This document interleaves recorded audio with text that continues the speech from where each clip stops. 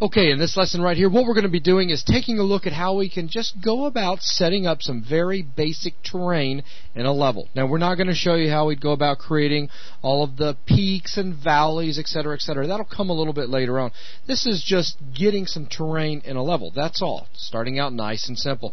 Now, Logan's going to start out by creating a very, very large room for us. And then from there, show you what's involved in adding in the terrain. So take it away, Logan. Okay, first I want to go ahead and load up a texture set just so we can go ahead and get everything ready to rock and grab a good terrain set. So let's see, grab something other than what I want to use for the terrain itself. Let's say, I know that one for the main box. And with that, go ahead and grab a cube. And for the properties, now, like we said, we want a very large cube because this is going to be more like an outdoor type area. So 4096 by 8448 by 8448. Yep, that's definitely big. So with that in place, go ahead and subtract that out.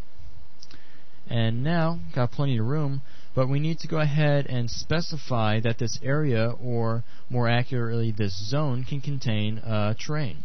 So we'll go ahead and open up the actor class browser, expand info, and grab a zone info. Now I'm going to add this in the top view just so I have it roughly centered inside this cube.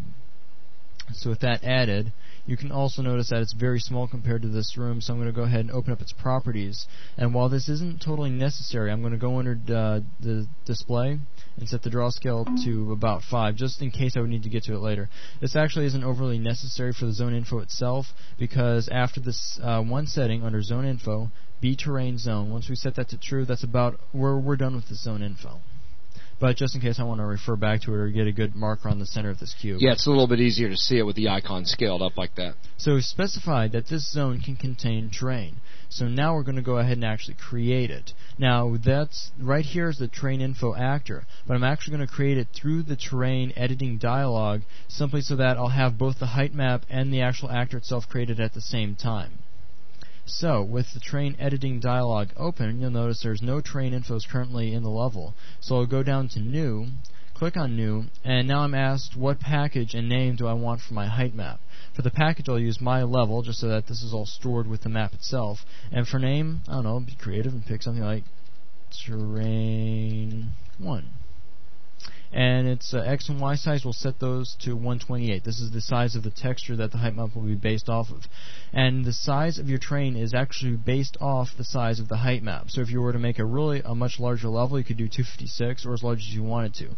But this will define how big your terrain is actually going to be. You'll notice that this the actual pixels of the texture correlate to a much larger area on the terrain itself. As you'll see, it'll almost fill up this 8,000 unit wide box. And finally, height. What this is is the initial um, color of the uh, of the overall grayscale. Now, uh, 32,768 is actually midway, so mid height, meaning that your terrain will be perfectly level with the actor itself, and it's recommend that, recommended that you leave it there unless you need it offset from the terrain info actor. So with those in place, I'll go ahead and hit OK, and there we've got terrain one. It's in the in, it's an Unreal's internal 16-bit grayscale, so we'll have the full accuracy. And with that in place, um, we've actually got the terrain technically exists. If we were to go and say, let me hunt down the uh, the terrain info actor itself. Now this one I will go ahead and set its draw scale larger, simply because this will be very useful to get back to later. So with it scaled up so I can get to it. Now we could, let me pan back a little so I can see where it added. If we were to do a rebuild and then switch over to shaded since we don't have lights, check out the little uh, the tool we've got. It's acting like there's a plane, even though we can't see that. It's still invisible. That's because we we have no way of saying what texture is on it. We define textures through layers. Now we're going to get into layers a little bit deeper in just a minute, but for the time being, so that we can see this, I'm going to go ahead and switch over to the Layers tab, click on the first undefined slot, and hit New. Now, real quick, before you do that, did we want to select another texture? Um, we could just to differentiate. So yeah, just so it doesn't blend in. And grab a brighter texture. And now I can hit new. And the reason we had that texture selected is when it creates this new layer, it'll grab whatever your current texture is. Exactly. So package, we're also going to store this in my level, and the name will be layer one. Alpha height and width will be 128, so we keep all our texture values matching. Now this alpha fill.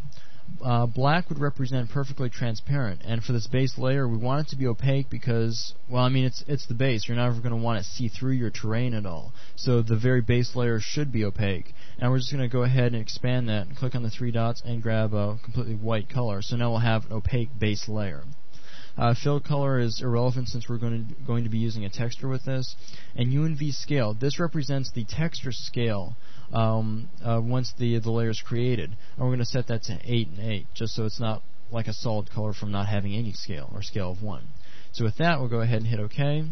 And there, now we can ah. actually see the terrain. So it makes sense that we have this uh, extra tool over it and that's ba- uh, the basics of creating terrain. I mean, it's simply defining that this zone can contain terrain using that zone info, then creating a zone uh, terrain info actor by going into the terrain editing dialog, and again, so that we can create by using the new button, create both the terrain and the height map itself. As a matter of fact, I can actually open up the texture browser and switch over to my level, and you'll see that we have terrain 1. So this is the actual terrain map that's being used to define the height. Of course, every, it's all one gray color, so we have a flat terrain.